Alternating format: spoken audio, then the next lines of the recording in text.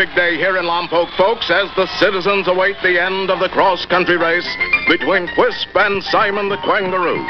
Quake is at the finish line with a gold-plated cereal bowl for the winner, and uh, here comes Quisp on his unicycle.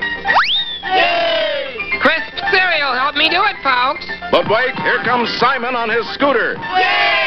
I owe it all to orange Quangaroos. Now Simon leads as they approach the wire, and uh, the scooter crosses first.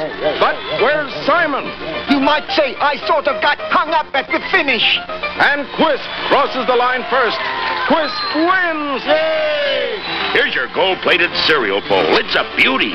Only one thing could make it prettier. Huh? If it was full of Quisp cereal. I really got the jump on Simon. And he just got the jump on me. Get Quisp cereal. It's a winner.